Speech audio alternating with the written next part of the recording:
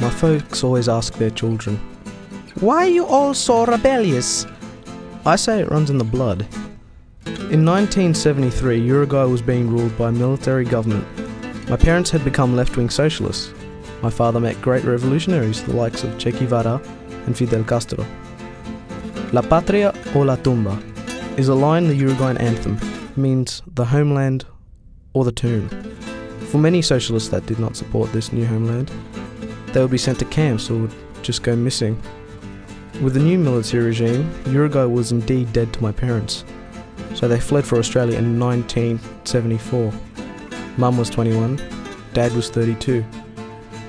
They both learnt the English language easily, although my mum still has a just off the boat accent, despite being here for 30 years. They built a new life here, opening up the very first South American bakery in Yarraville. They had four kids Ernesto Camilo, Monica Alejandra, Juan Ramon, and me, Esteban Daniel Guerrero.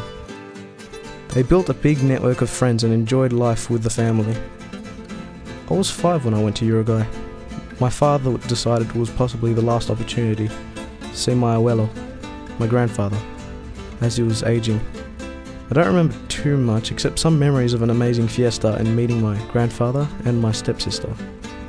My parents left Uruguay because they had to. Now, Uruguay has a socialist government, but it's probably too late for my parents to return. But not for me. I would see my abuelo, who is still with us at 96, and spend time with my stepsister and her children. They say her son just looks like me. I keep learning new things about my parents, and I'm particularly impressed with my mum and my dad's rebellious past. And so that's where we get it from.